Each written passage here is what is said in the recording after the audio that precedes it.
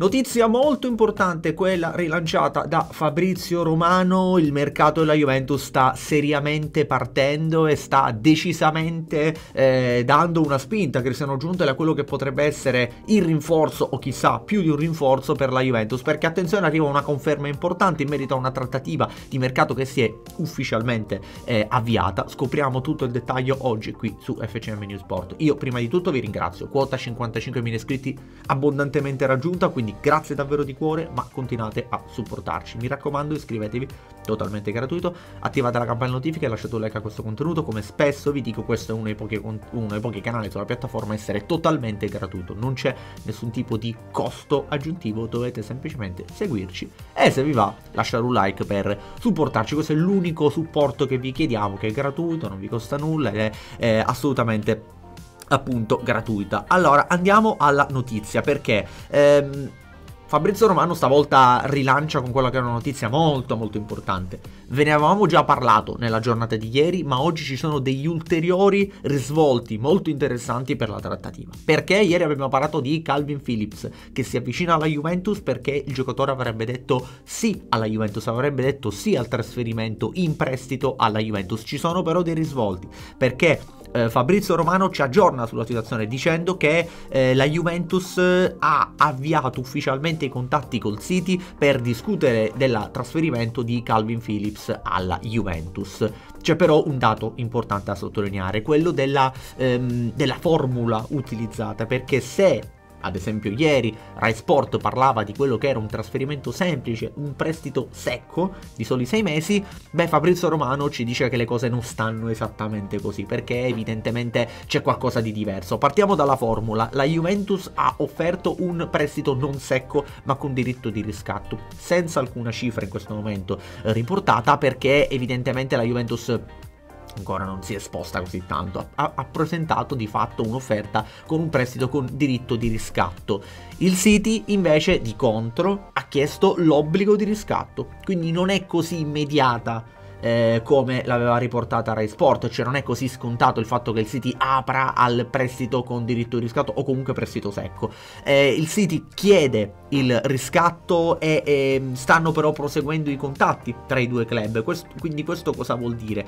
Che la Juventus non ha definitivamente chiuso il colpo perché se avesse definitivamente aperto al prestito secco il City saremmo già ai dettagli perché saremmo già alla chiusura di una trattiva che porterebbe alla Juventus un giocatore che serve in questo momento a Massimiliano Allegri. Per completare un centrocampo che ricordiamolo primo di Fagioli e Pogba deve numericamente vedere un inserimento importante Ehm, quindi, secondo Fabrizio Romano, la trattativa c'è, è in piedi. La Juventus offre un prestito con diritto di riscatto, quindi si riserva la possibilità a giugno di decidere se riscattarlo o meno. Il City, che si vuole liberare un giocatore preso praticamente un anno e mezzo fa, ma per 60 milioni il City vuole guadagnare. Come vi ho detto però ieri, attenzione, e ora arriviamo all'aspetto tattico del perché. Secondo me, questo non è esattamente il giocatore ideale per la Juventus. E da un punto di vista invece prettamente ehm, economico, parliamo di un'operazione che potrebbe portare dei vantaggi perché arriva in prestito senza eh, alcun tipo di esborso iniziale. Soprattutto Juventus vuole una piccola percentuale pagata dal City per quanto riguarda l'ingaggio.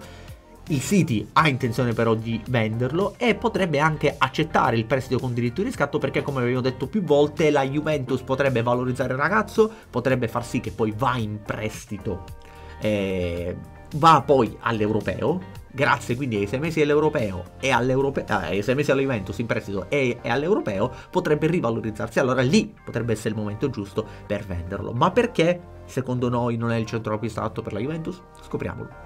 Calvin Phillips è un ragazzo di 27 anni, è un classe 1995, quindi a livello di età è un acquisto che ci può stare, non è né un ultra trentenne ma non è neanche un diciottenne, di fatto è un giocatore che tendenzialmente ha l'esperienza per poter, tra nazionale e City, potrebbe fare al caso della Juventus, è un giocatore che come abbiamo detto arriva nell'estate del 2022 da Leeds, con Loco Bielsa lui si forma, 60 milioni investe il, il City per lui, ma di fatto il, eh, il giocatore non gioca praticamente mai perché Guardiola non crede fondamentalmente in lui. Dove potrebbe giocare Calvin Phillips? Secondo me il ruolo perfetto per Calvin Phillips è eh, davanti la difesa, in un centrocampo a due tendenzialmente, cioè davanti la difesa un centrocampo a due a sinistra. È un mediano che può giocare a sinistra davanti la difesa, quindi è un mediano basso. Alcuni lo hanno definito una sorta di box to box, io non credo che sia assolutamente così perché è un giocatore che sì ama difendere, sì ama dare ordine alla squadra. In questo è molto bravo perché è il classico giocatore che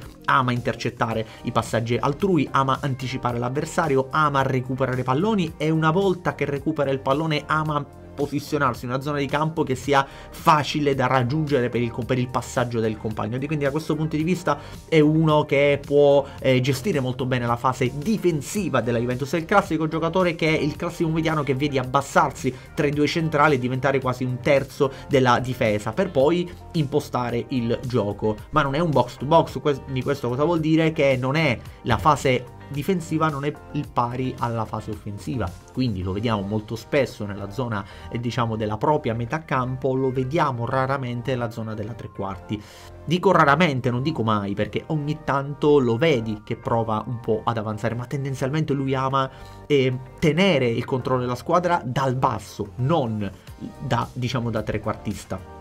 Potrebbe anche fare la mezzala, essenzialmente, ma credo che in questo centrocampo, qualora Juventus dovesse bloccarlo e quindi prenderlo, in un centrocampo ipotetico con Locatelli, eh, Calvin Phillips e Rabiot, io credo che Calvin Phillips, Phillips possa giocare davanti alla difesa con lo spostamento definitivo di Locatelli, che vi ho detto tante volte per me può agire da mezzala, lo ha fatto in nazionale quando il regista era Giorginio, secondo me l'ha fatto anche con buoni risultati.